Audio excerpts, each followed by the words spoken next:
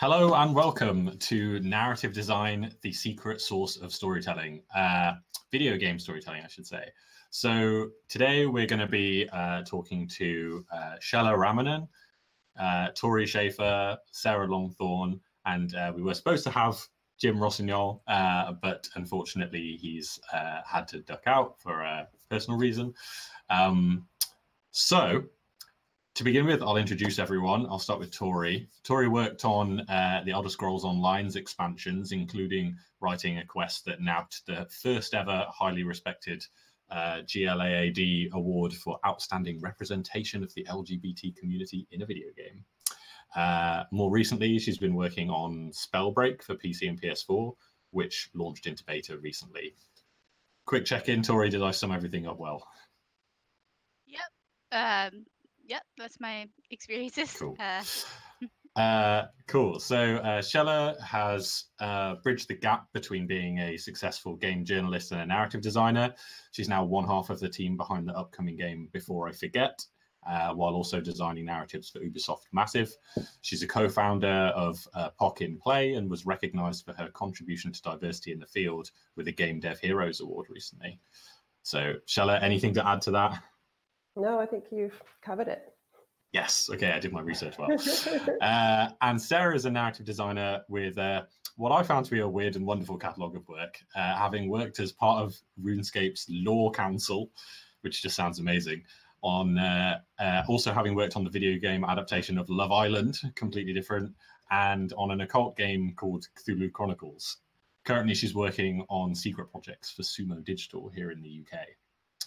Anything I missed off there, Sarah? Uh, no, that's pretty much it. All right, three for three. I've nailed it.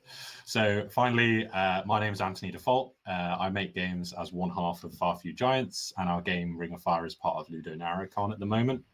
Uh, I'm also Wireframe Magazine's writing narrative design columnist. But other than that, I'm all round much less interesting or accomplished than any of the people on the that I've swindled into joining this panel. Uh, so a few pre-apologies for unprofessionalism straight off the bat. Uh, it's likely that at some point, as it did before the call, uh, before the uh, the panel just now, uh, my totally bald cat might come and try and attack or cuddle me. Uh, so if that happens, it'll derail us, but we'll we'll we'll make it back. to begin with, oh, I just wanted to say as well, at the end of the panel, I'm going to try and make time for a question or two from the audience. So put the questions in the chat. I will try and monitor it and uh, grab whichever ones are most interesting. Um, so make sure to be putting those in throughout. Uh, and to begin with, uh, we're going to try and define narrative design. Should, in theory, be the key question that people are here for. So, uh, as a group, I want a concise definition that we can all agree on. Uh, I'm going to pretend I know nothing because I secretly do know nothing. And uh, let's get started. So, I'm not going to single anyone out. I want you to to uh, jump in here. Uh, what is narrative design? Designing the narrative. okay, let's. Uh, uh, we wrapped it up actually. Uh, so if we can end now, go on. Give I me know, a better I- definition. I've always felt that narrative design was quite an intuitive, does what it says on the tin sort of word. If we preclude writing, um, then it is um, what happens in your story, how you communicate that story, and how you play with and explore the themes of that story through design. Um, that's that's how I would do it. Maybe someone else disagrees. Okay, as a as a complete novice to narrative design, uh, I am not yet clear on exactly what you mean. So perhaps someone else can can offer a, a more uh, explain like I'm five definition. Um, I'd say it's ensuring that the mechanics and systems of the game support the narrative and vice versa. So it's like a Okay. holistic um, view of the game and those two sides. Um, So h- what does that look like? Like you sit down at your desk, how do you do a narrative design? how do you do a narrative design? Oh wow. um, oh gosh. Okay, so you in here. decide. Okay. Yeah, jump in. Go, to Tori. Oh, So, uh, like, it all starts with documents, right? You document what you're going to do in an outline. So, instead of just writing a story, which is like an outline of the narrative beats, you outline the story, like the game mechanics that are going to support your story. So, you would say, like, okay, we'll have the NPC say this introduction, and they will give this information. And then we'll have a combat encounter. And then once you finish that combat encounter, that NPC will give you more information. So, you're kind of outlining how the gameplay is going to tell the narrative rather than just what the narrative is itself. Like Chella said, completely integrating all those things world building, uh, combat design, eh, you know, um, art decisions, and writing, of course, you know, um, dialogue. Everything kind of comes together, and you say how all those elements are going to combine to tell your story. Okay. Uh, you have nailed it. Let's uh, let's try and get that into a shorter, bite-sized chunk that would fit in a tweet or something. So uh, I'm getting that it is not writing. It is more uh, telling. It's basically telling a story in a game. Sans the writing part. Uh, so just the design and the mechanics. How can we get that into like ten words? I mean, if you want to get real pithy, but you don't want to be that informative, then you could say it's where narrative and game design collide. Okay, that sounds uh, like an excellent tagline for like a, a narrative design agency or something. I'm This definitely what, what steal that. the book cover. Yeah. okay. All right. I think we've sort of designed it. Uh, designed it. Defined it. Hopefully, We've narrative So, designed this. we have narrative designed the concept of narrative design. so uh, let's jump in with some questions. Um, I'm going to throw this one to Chella off the bat. Uh, have you ever designed the setting? Oh, sorry, no, Tori. Have you ever designed the setting or story of a game specifically to facilitate a gameplay element? Yeah, so this is really interesting with um, Spellbreak, which is a PvP battle royale game um, that we are currently designing narrative content for, which is a really interesting thing that we're doing, something completely new. Um, still kind of in that phase of deciding what that means, but um, uh, the story tells us a world, this fantasy world of mages who use elemental powers with these gauntlets, and um, there was this cataclysmic event called the fracture. So basically, like this giant thing happened and earthquakes and it destroyed the entire land. So the reason why the Hollow Lands, which is where you battle, is so empty and there's nobody there but the mages who are fighting is because of this cataclysmic event. And then this event created this thing called the spell storm. So the spell storm is this magical energy that like surrounds the area and gets smaller and smaller and smaller. And it's basically the reason why the people, the refugees who survived the fracture can't return home. As you know in Battle Royale, the concept of your battle royale area getting smaller and smaller and smaller is is a, a key component of Battle Royale. So we've added that into our lore and you know the questions we want our players to ask is what is the spell storm? Why was it created? What exactly does it do? So we're creating like a very common battle royale element, but we're putting that within our narrative and our story, and then we're creating content on top of that, asking more questions about it. So it doesn't feel like it's just a mechanic. It feels really integral to the story's plot and to the world's like, you know, the the conflict within the world. That's really interesting. I like the uh, the way you described that you started with this game mechanic that you knew you wanted to have in there. Did the the lore kind of justification for it, I guess, and then that itself raised questions which changed other things about presumably like missions or quests in the game or some other part of its gameplay design. Is that right? It's informing the future. We haven't added narrative design yet. We are very much in the concept phases of that, and but Right. you know, that's a question that we want to answer, or we want the players to ask, and we want to answer in different ways. You know, lore appropriate. You know, characters having theories and things like that. Um, and it's just a battle royale element that we, you know, created to be more something more in the narrative. That's really, really interesting. Um, so, Sarah, I was going to ask you what your favorite bit of narrative design that you've ever done is. Okay, uh, so um, I'd say my favorite thing that I've worked on that I can talk about um, is it's got to be the Love Island game, um, and I absolutely can't take credit for a lot of what I'm going to say here because it was like such a team effort and everyone was so talented. Um, but basically, season two of the Love Island game really built upon season one, which was very linear. Season two was uh, very fluid and variable and responsive and quite um, modular in a lot of ways. Um, we were quite um, uh, we were quite ambitious with it, and uh, sometimes that caused problems. But you know, uh, it was also just really exciting. Um, what I particularly enjoyed about this project was um, we were really thinking about okay, like Love Island, the show. What is this about? This is about burgeoning relationships. This is about testing those relationships and um, what it means to really like someone or start to like someone. Um, and in the world of Love Island, there's this whole thing about your type on paper, uh, which is uh, who you'd theoretically like if you haven't met them yet. Um, and we thought, okay, in this context of Love Island, uh, what are the kind of factors that people might be considering in terms of personality? Uh, and we narrowed it down to three. So we said, okay, um, you know, it's about how extra you are, it's about how loyal you are, um, and it's also a little bit about how glamorous you are. So when players are making choices, yeah, we're thinking, okay, they said this, so this is going to happen down the road.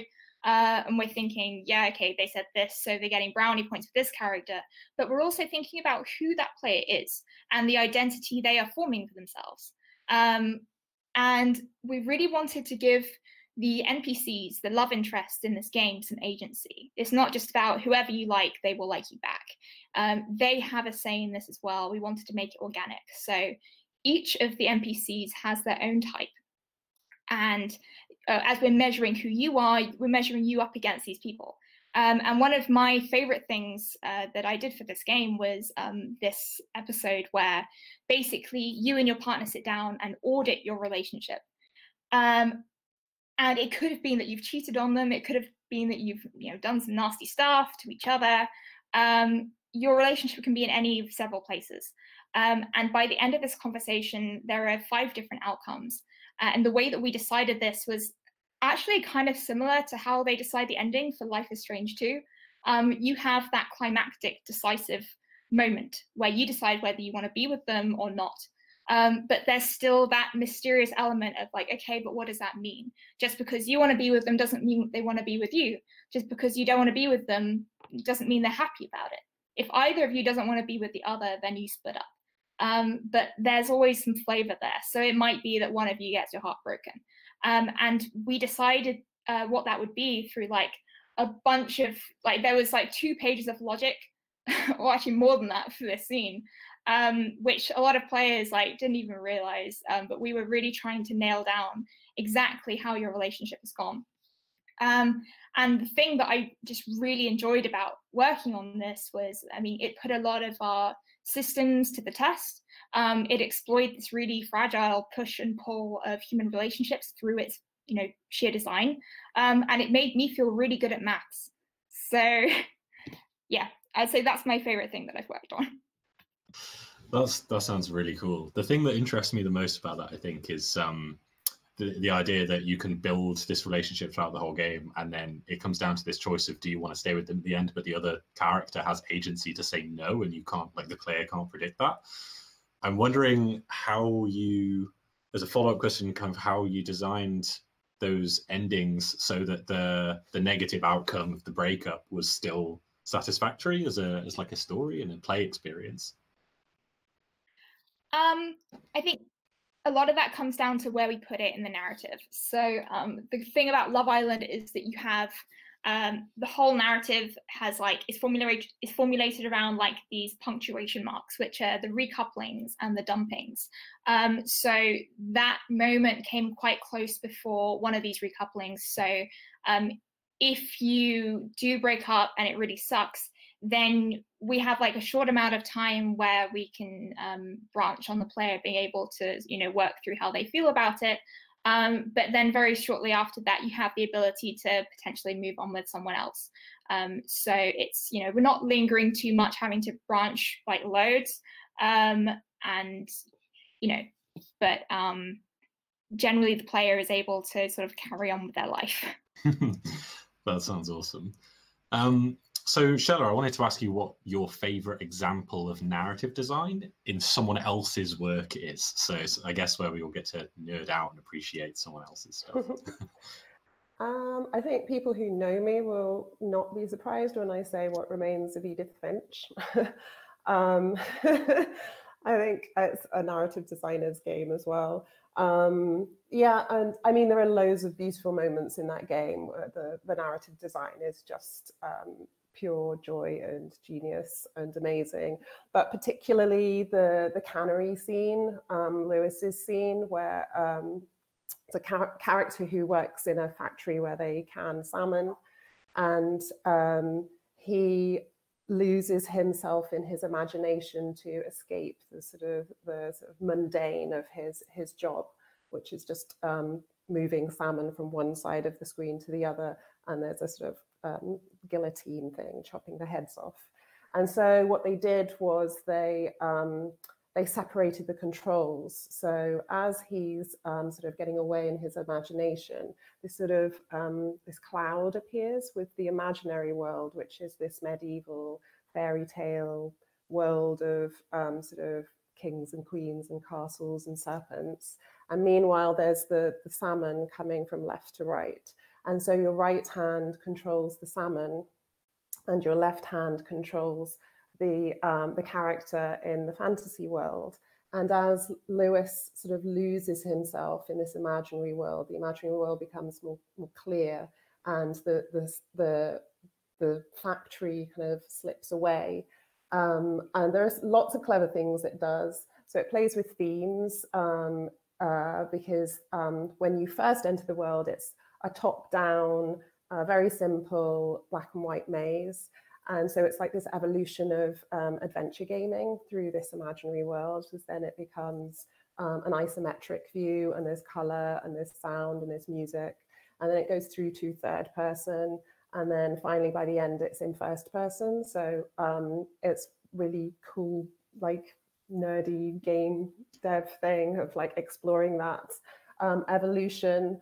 And then um, I've read interviews um, with the developers and um, about how they how they managed these two sides and how um, they ensured that players didn't kind of uh, get confused because at first they might focus on um, the fantasy world because I think it's more engaging. It's more sort of immediate and then the fish kind of fall by the wayside. So or when they're first doing the fish they're just like right i got to chop fish chopping fish. And they don't notice the imaginary world comes up so they used audio.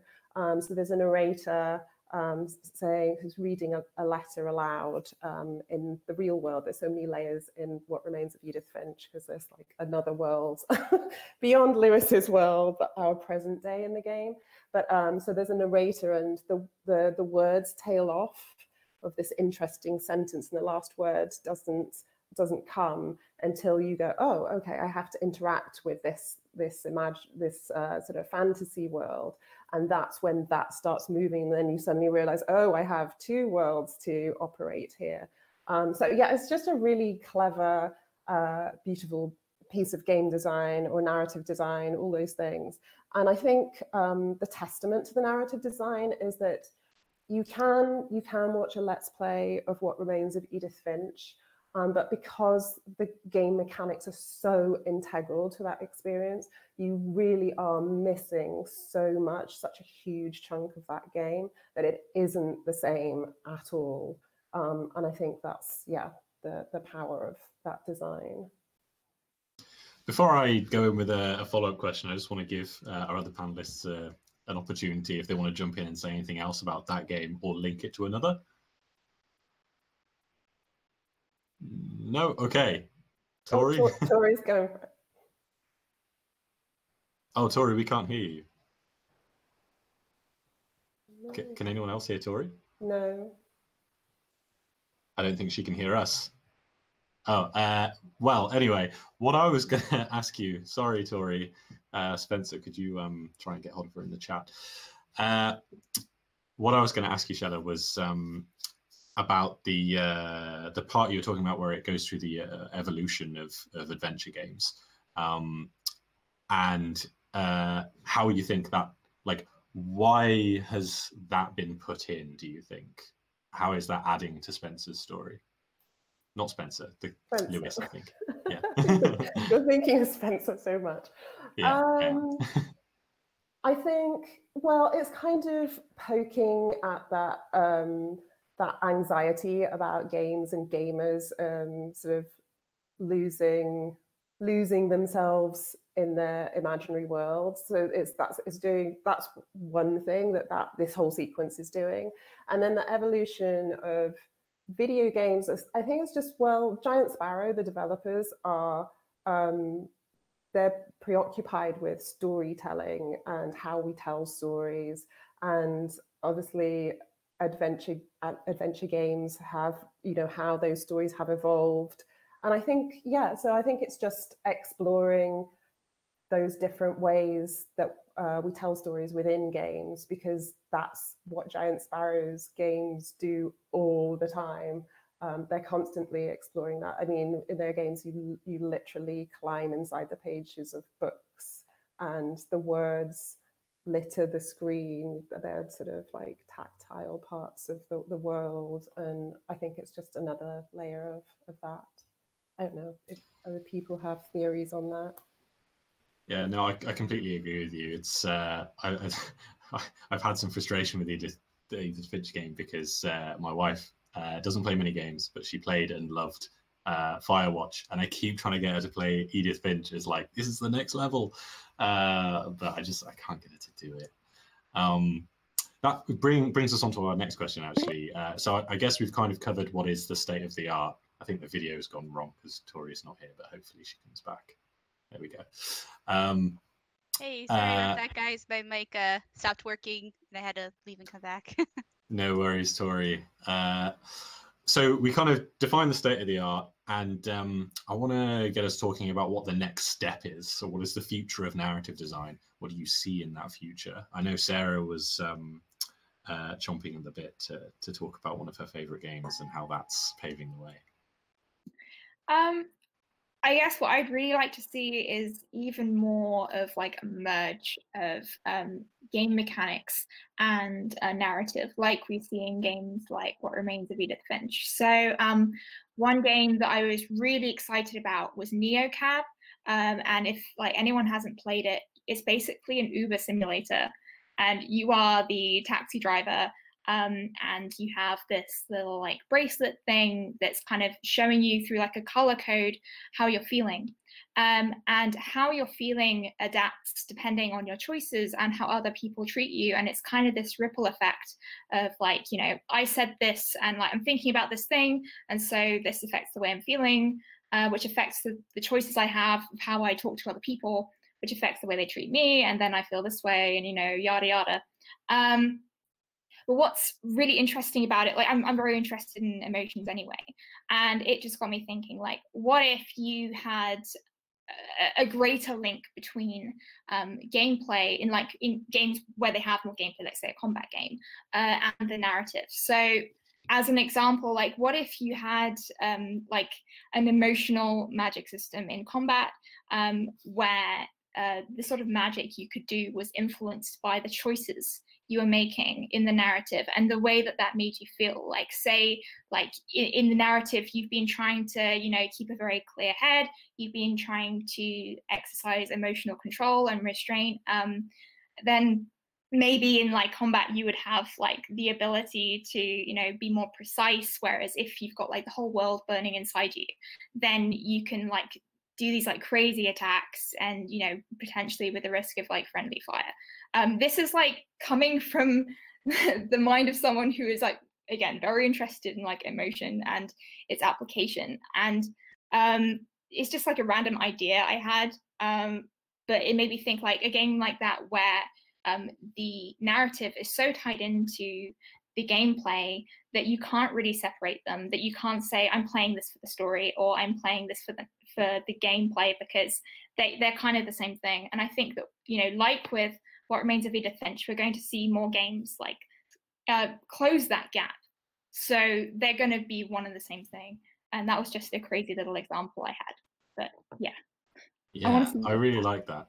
I, I felt like um, the Banner Saga almost went down this route with uh, uh, I what I really wanted to happen in the Banner Saga is for not only the um, the choices that I made in the like interactive narrative parts to affect the the kind of state of my troops when I put took them into the the the battle phase. I really, really wanted things that happen in the battle phase to then be also reflected in the narrative and have that really good tie. Because I felt I feel like it did do it the one way around in a way that similar to what you're describing, where the emotional state of like a one of your varl followers could, in a few occasions, change their stats uh, in in the battle part. But um, I guess what you're talking about is just a, a full evolution of that, right? Yeah, so something like just quite systemic, where it's almost like gauging your emotional state like you would in something like neocab but and yet applying that to you know maybe the kind of actions available in gameplay and you know combat's just the first thing that came to my head and you know not all games have to be combat. There are so many applications. Um, but it's just like you know as someone who's very interested in emotion um, i loved what they did with neocab and I, I thought it was like an amazing testing ground for like what other sort of things we can do with those kinds of systems. Um, and yeah like i think anyone could have like so many different ideas from that. Um, and those are the kind of things that i want to see explored. That's wonderful. Uh, I want to give Tori uh, a chance to answer this question as well, seeing as uh, you, you were talking for quite a while before, uh, I think, before you realised that you weren't coming through. So uh, yeah, um, I'm coming through now, though. You all can. You are, yeah, yeah. Okay, good. Yeah. All right. Um, yeah, I like. I, I, I think that um my husband actually just played through Outer Wilds, which is critically acclaimed, I know, so I'm sure. But um, we were watching the documentary, and they were talking about how they really like the idea of creating a game with no objectives, and that the objectives are just curiosity right? The player is just curious about what this world is and what's going on and what the narrative is. And everything that you do is just because you're curious. And my husband, you know, playing through this game, that's exactly how he felt. He was, you know, he loves space. We watch Star Trek and all those, you know, the expanse. We love it. Um, and he was just like, I'm on this spaceship. I want to go to that planet and then he would go to that planet and he would explore it and he would read things and he would listen you know to and you'd like see the environment and like take in what's happening and um, everything that was narratively designed was just to give you more information about this world and nobody ever tells you oh you need to find this. You need to go here. This is your objective. And in fact i had preconceived notions of what the objective was going to be um, because it is a time loop where every 22 minutes um, you know the sun goes supernova and um, you have to you know that's that's that's and you replay the 22 minutes based off this other uh, lore bit um, and so i was like oh i know exactly like you know what you're doing and what you're going to find out and like you know i had these these notions in my head and they all just turned out to be like you know just completely different from what i thought it was going to be which was really fun to experience too so i think those kinds of what is your end goal and what your objectives are and how the narrative presents that and how the narrative design facilitates that i think we can do so much more than just like on the top left hand of your screen this objective list of kill five bandits or five like find five pieces of gold you know um not to say that they're that those things need to go away or that those things aren't valid they totally are but i just love this idea that narrative design can go beyond that and create these worlds where you just want to explore and do something and find out the themes and the answers and the characters because you just want to. It's just it's not a list you have to complete. It's just this innate want of doing that you know? Yeah i one thing i really liked about that game just to add on to that point is um I it never pointed me towards it, but there is actually a, a kind of objective list that exists in the game. Uh, but it's not in the main UI layer or anything. You have to go into the ship, uh, look opposite the main console where you would fly the ship, and then go onto a little computer system that the game never points you towards. At least I don't think. Uh, and then there's like this weird spider web map that's a bit like Fez's world map um, uh, that connects all the different ideas in the game. But I only ended up using that once I'd already discovered as much as I could in that game, and I just wanted more, and I wanted to know what direction to look in. Um, it's and it's also a nice bit of differentiation in terms of difficulty. Like the game doesn't need difficulty settings really because of it, because uh, it allows you if you if you need that extra support with the deductions to to go in. Yeah, I thought it was a fascinating bit of design. Anyway, next question.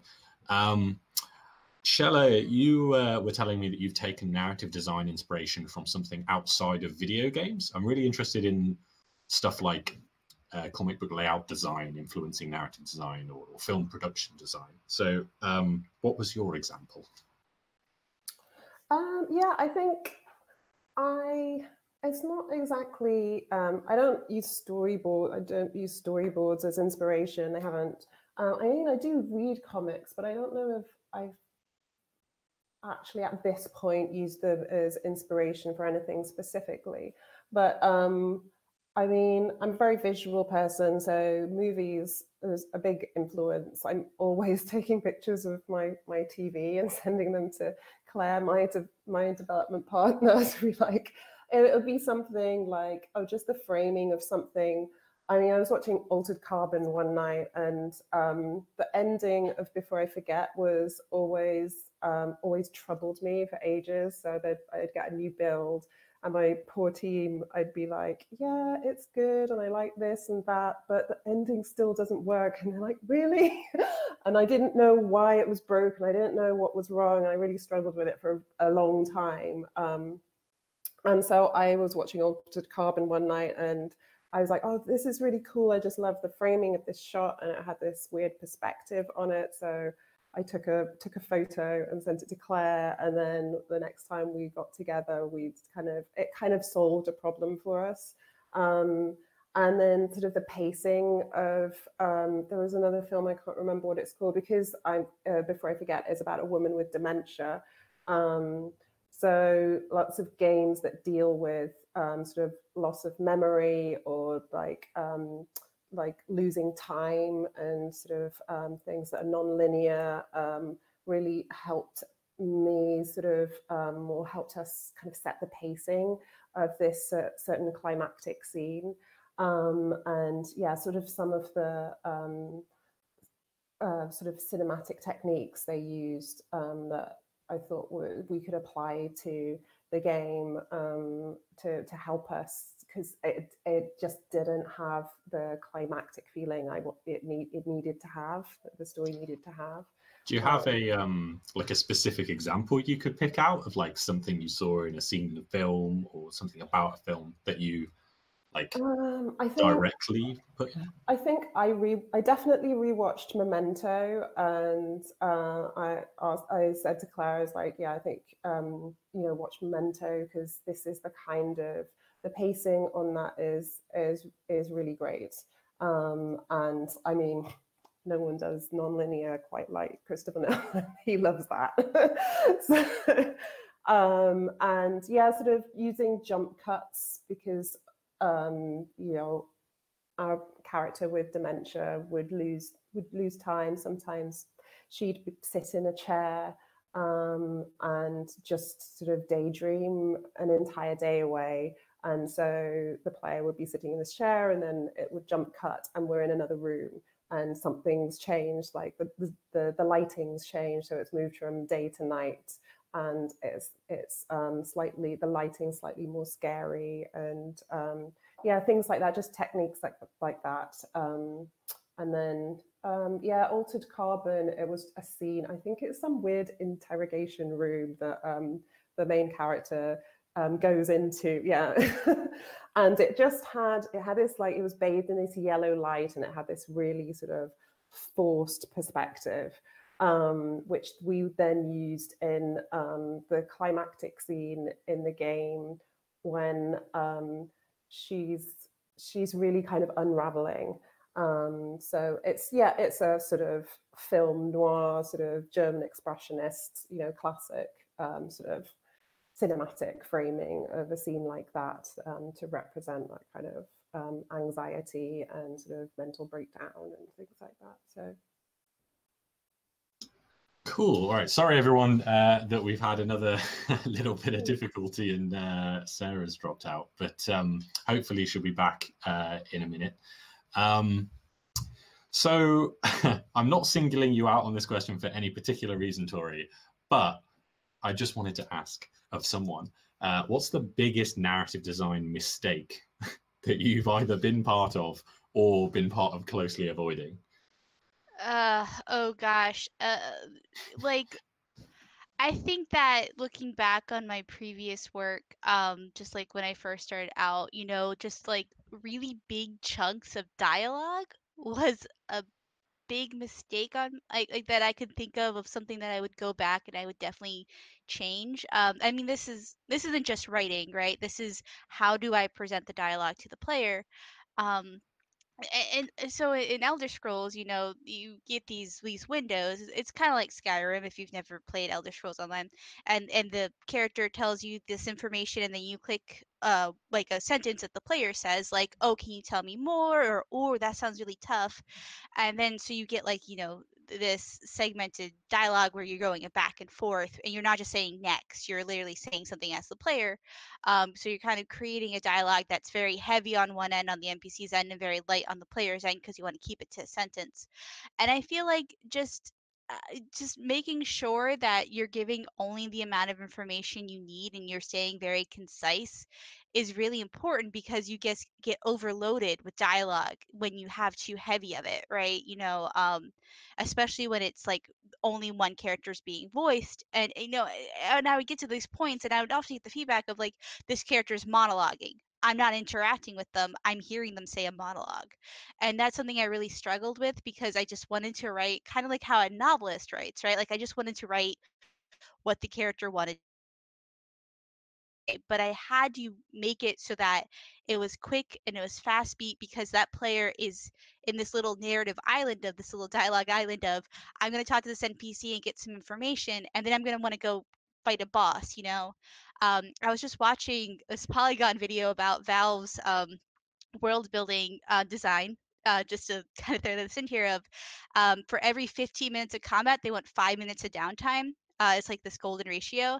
Uh, and, and that's very true with narrative design as well. You don't want a character who goes on and on and on for like this 20 minute cutscene and then have five minutes of combat and then a 20 minute cutscene. You really want it to be as interactive as possible. So you want that dialogue to be snappy and quick and just tell the player what they want in, in a fun, interesting, character driven you know like you want to have all those elements of course but design is knowing when to shut up you know your, yourself or your characters and when to like let the character go and fight that big boss or to explore this cool cave and you know, things like that so that's something i've really had to learn um, just brevity which i'm not showing very well as i'm rambling here yeah it's a tough one it's a tough one to learn uh, Cool. So, as we've only got a few minutes left, uh, I'm hoping we'll be able to get a very quick answer, ideally from both of you, uh, on an audience question. So, in as few words as you can manage it, uh, Mr. Wolf asks, um, how did you all get into narrative design and is it necessary to be a developer, i.e. a full-on coder, to become a narrative designer? This question real quick. I um, was in QA for Elder Scrolls Online. I had a really good writing sample um, my first job at Elder Scrolls Online was more writing heavy than narrative design heavy, um, which I think gave me a great background to work with our content designers who were also narrative designers and kind of learn and, and step up to that. Um, and now I'm in a much more narrative content heavy role, which I'm much more experienced with. Um, but no, you don't need to be know how to be a programmer. It's a great background to have for any game designer to understand that. But you, there's tools in place. You're not. I'm not coding into the computer. yeah. So go ahead. Uh. Sure. Ancella? Yeah, pretty much the same. Um, I was a journalist, um, as Antony said, and um, a writer. So, um, yeah, I just worked on my own indie game. as narrative designer on that, and now I'm at Ubisoft Massive. So I'm learning the technical side and working in the editor, but I am definitely not a coder.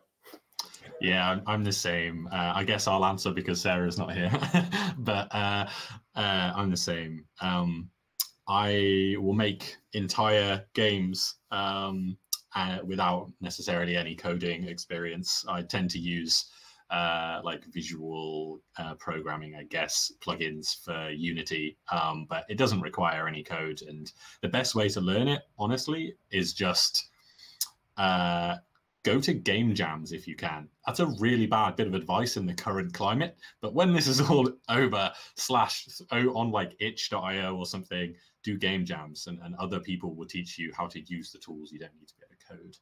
Um, so thanks to Mr. Wolf for the question. Uh, there are uh, there were some other questions that we don't have time for, but I've noticed that um, Way Around Media asked one about uh, traditional film scripts, and I just want to point you in the direction of a column I wrote on exactly this for Wireframe magazine. So do some googling, uh, like film script, game script, Wireframe, and you'll find your answer there. Um, I think we should start wrapping up. We've got what two minutes. So, uh, does anyone have any final thoughts or anything that they want to shout about? Uh, yeah, you can find me at Tori underscore Schafer at Twitter. If you want to ask me any questions on narrative design, my messages are open, so feel free to come on in and message me any questions. Uh, also, check out the beta of Spellbreak, www.playspellbreak.com. Have to plug it in. cool.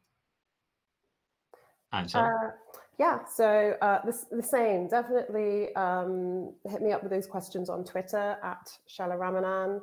Um, and if you want to check out my game, which comes out uh, this summer, it's Before I Forget, and that's at Threefold Games on Twitter. Um, we're on Steam, so you can wish list us. And um, yeah, uh, yeah. Cool. Uh, so if you want to know more about uh, writing and narrative design, um, uh, like I mentioned before, I, write my column for for Wireframe, and um, I'll be tweeting out whenever that comes up um, the entire article. Uh, so you can follow me on Twitter at Antony underscore D underscore Fault, and uh, my game Ring of Fire uh, that I creative directed is currently part of LudoNarraCon. You can download a demo and wishlist us, and it would be great if you play it. It's like a hardcore detective thing. Yeah, really have to think. And it looks like Sarah's joined us for the last 30 seconds. She's popped back in. so Sarah, do you want to do you want to say your goodbyes? We're just wrapping up. Okay, bye. where where can people find you and ask you questions? You. Sorry?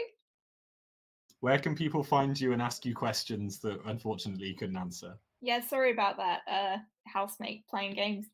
But uh yeah, um Twitter is the best place. Uh, my uh, handle is at Sarah Longthorne um, with an E. And um, my website is exactly the same. There's like a form on there. So yeah, feel free if you have any questions. That's yeah, me. Same. Sorry about that. my DMs are open as well. So yeah, hit me up on Twitter. Um, cool. I think we should wrap it there. Um, we're being given the signal. So thank you very much for watching and thank you very much to my panelists. It's been an absolute pleasure having you and getting to speak to you face to face. Uh, so Uh, yeah, thanks everyone. Goodbye.